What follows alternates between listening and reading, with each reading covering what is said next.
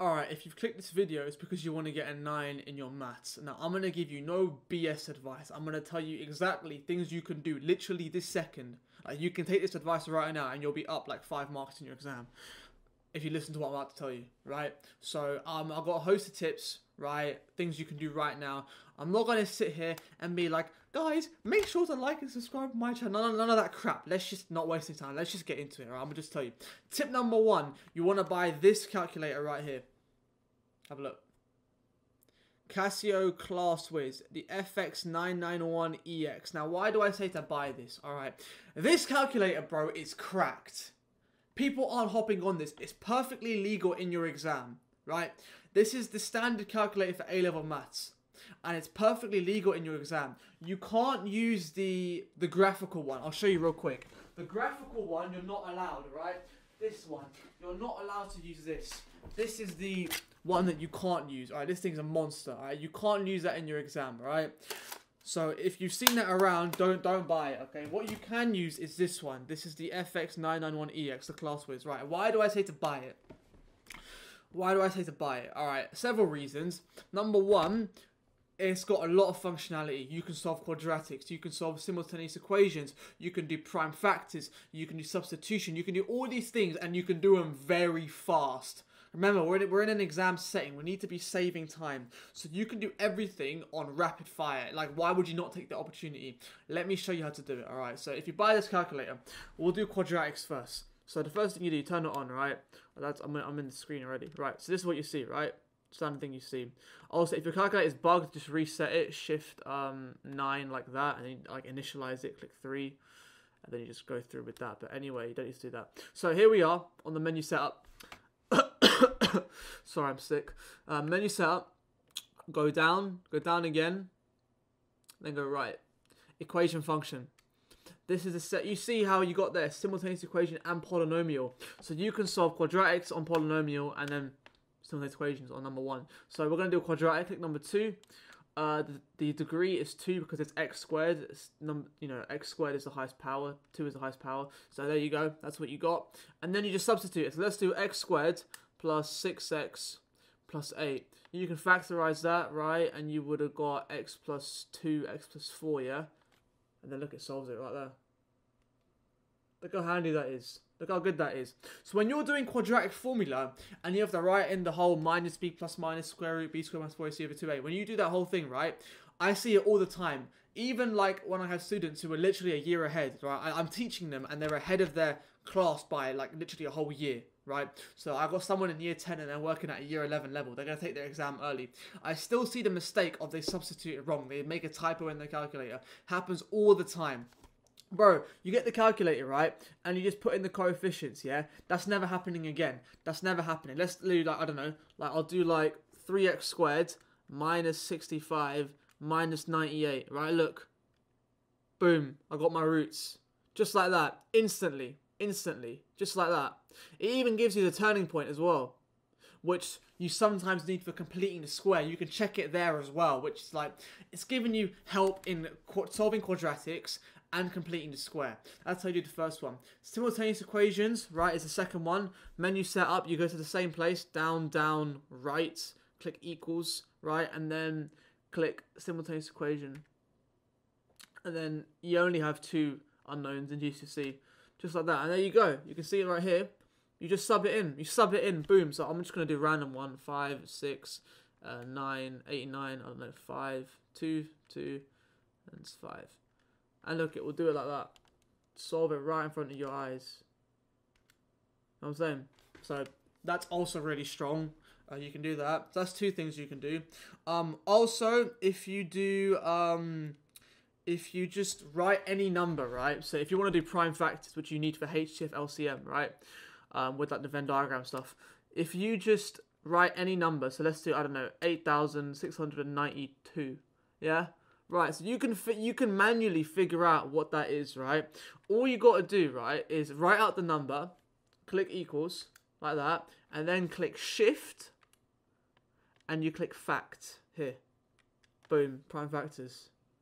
Bro, I can't believe people go into their exam without knowing this. And you can do that one on the normal GC calculator. You just click shift and facts and it gives you the prime facts. It's Just like, like I don't know why people haven't learned this before. But anyway, that's something you can do. Also, substitution you can also do. Um, it's really it's really easy. So, for example, um, if you need if you need to like, you know, when you get a question where they give you um, they give you like a table and you put in the values, right? Imagine it's like this. It's like six x minus 2, right? And you sub in all the values, right? What you can do is then you can just go and go on the calc and you can change the values. So when x is minus 2, there you go, minus 14, and just change it, minus 1. So you can't see. Let me do it like here, let me do it here. Sorry, uh, calculator, do maybe for 4, put in 4 into x like that. Just like that, it works just like that. And you can do that for quadratic. So if you want to do like substituting for a quadratic, you can just do it like that. x squared plus 6x plus 9, like this. Let me show you. Uh, hello, hello, focus. There you go. Right. And if you just go to there, and just change the value to minus, I don't know, 6. Oh, sh Bro, I can't, I can't, I can't move my... I'm looking at the camera when I'm doing it. Right, there you go. Boom, like that. Exactly. Just put it in. So, that's some of the things you can do. Um, also, if for some reason you, if for some reason um, you find you find your um paper online, you can also just start storing in values into here um, if you wanted to. Like, I, I don't really care about like cheating and whatever, right? If bro, bro, don't even lie. If you have the option, you would do it. Let's be real. If you could, you would.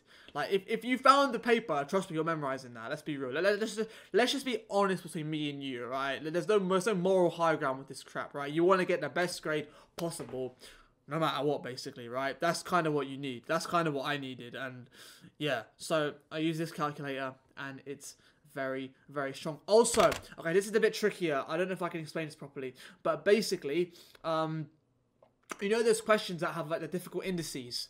Um, and it's like you have to like simplify and it's all proper messed up okay um, basically there is a way to do that in your calculator as well but you have to use logs and what logs are is it's like the opposite of indices kind of so for example if I say 2 to the power 3 equals 8 yeah, so basically log to base 2 of 8 is equal to 3.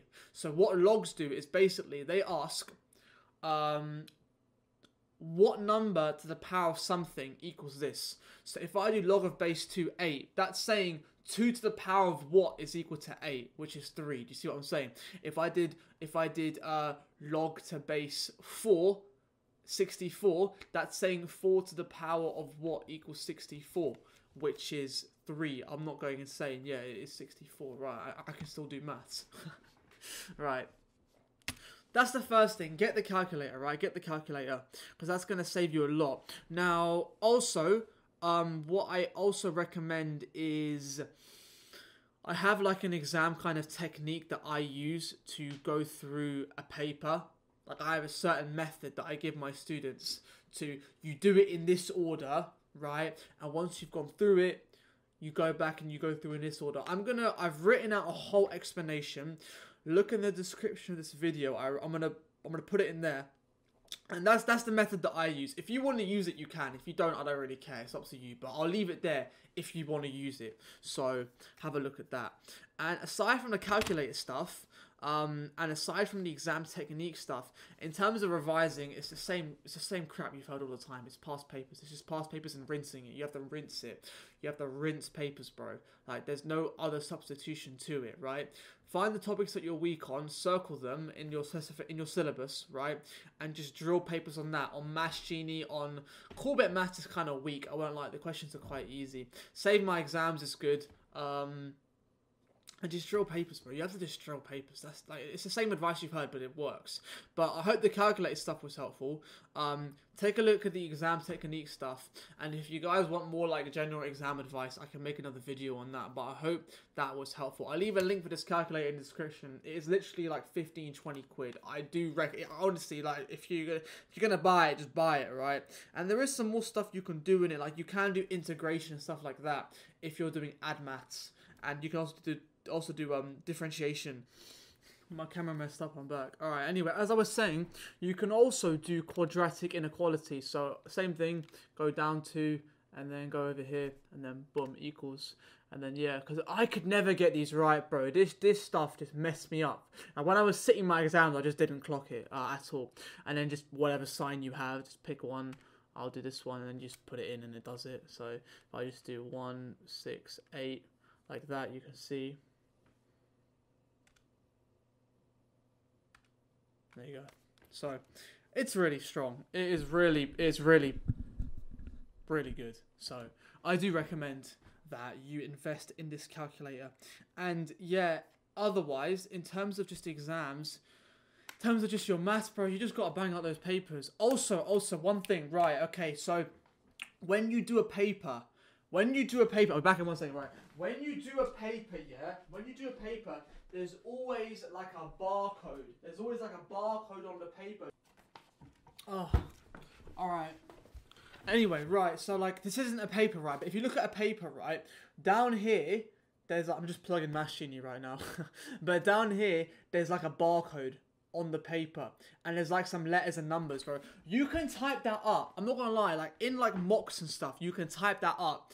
And you can often just find the paper, and on like on the student room, they talk about it sometimes. Um, so like look at the barcode because like okay, one thing you could try I don't know if it really works anymore, but I know like some people in the past they would go into paper one, they'd find the barcode that has the paper on it, like on the paper, and they like write it on their hand, and often it would be like a long number, and then the last number would be one, so that's paper one next one have a 2 ending in it and then they would type it in Google and they may find it. I'm not saying that will work, it may not work, but there's like a chance it could. So if you go in your paper and you write down the barcode on your, you write down the, the, the numbers and the letters, like it'll be like P59, like 127, something like that. It'll be like a string of numbers, starting with P usually, at least for Edexcel I know. Um, you can do that and like if you're i don't know like sometimes you can like type that up and you'll find the actual paper um it works sometimes, sometimes it doesn't, but that's something you can also try.